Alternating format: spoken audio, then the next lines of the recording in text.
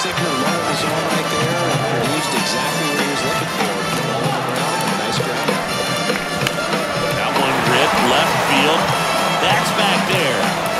What do you get a free ball soup with that home run? A solo shot. His second of the year. It's 6-1.